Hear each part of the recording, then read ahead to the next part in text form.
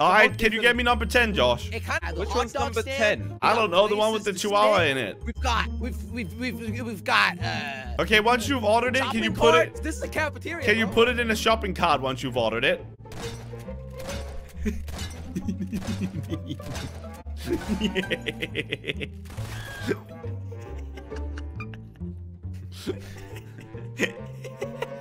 And this is why nobody is friends with Crainer.